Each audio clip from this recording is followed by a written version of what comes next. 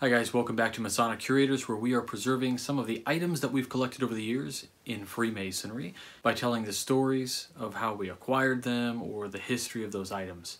Uh, today on the program I've got kind of an interesting uh, piece and it is a challenge coin of sorts. It's not your traditional shape, it's a square.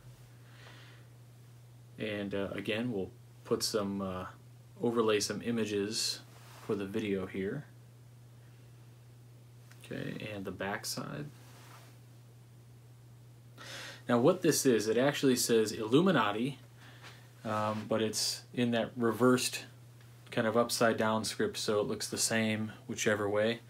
And it's got the all-seeing eye and the uh, triad there uh, on both sides. And it says uh, on the back, it says earth, air, fire, water. So the four elements are, are all on there also. It's in it's got the red border around there and it says the four elements guide you on the path to illumination. Right? So that's kind of interesting. And uh, the thing is is that on this side, the, the uh, front, it says Novus Ordo Seclorum, or the New Order. Um, but it, here's the deal, is this is a geo coin. Uh, if you don't know what a geo coin is, it's for geocaching. Uh, you can track this coin if I were to ever put it in a geocache and uh, it would travel all over the world and you could see where it's been if you go to like geocaching.com and you sign in or whatever and you check it out. What is geocaching? Uh, a lot of guys might have that question if you're watching this.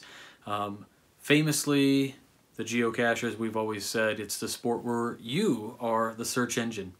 Uh, it's an interesting thing. Basically, you put together a small box or whatever we call it a cache okay? And then you hide it somewhere you mark down the uh, GPS coordinates and you put a little logbook in inside the cache and you leave it there and you put the coordinates on the website. People go find it they open it up they take something out they leave something in it they write their name when they found it then they go back home they go on their app or they're on their computer and they log where they found it and it's really fun and you hide and it's like treasure hunting essentially how do you do this? Well, back in the day when I started, uh, this was my first uh, GPS unit, uh, probably back in oh 2003. Uh, I bought this little eTrex.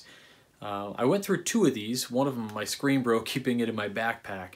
Um, this one was interesting in that it didn't show, it doesn't have roads, it doesn't have anything. It just shows where you are and in relation to the cache that you're looking for. You put in latitude and longitudinal coordinates, and uh, there's a straight line leading to it. Now, you don't know how to get there, right? Like there's, like again, there's no roads or anything on this, so you just had to find your way.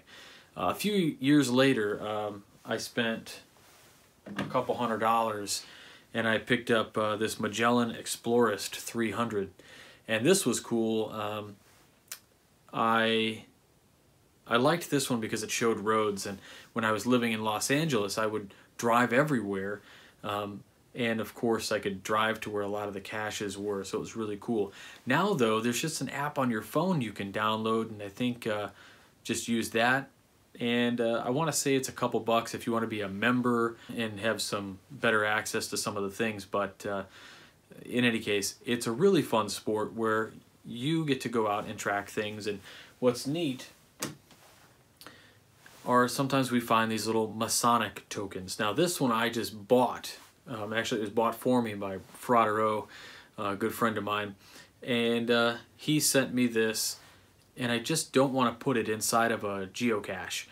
Um, I just like it, so I keep it along with my coins or whatever, but uh, maybe one day I will plant this in a cache somewhere here in Illinois, and uh, somebody will go and find it. So um, and for a while there was a really neat thing. It was a Masonic Geocaching Society. Uh, maybe you're a member of that, maybe not. Uh, if if not, or you want to know more about it, certainly Google search it. I'll try to put some links in the uh, uh little notes here on YouTube. Uh, but if you've got anything cool you want to showcase, or maybe you uh, have some kind of neat Masonic Geo coin, feel free to leave it in the comments below there.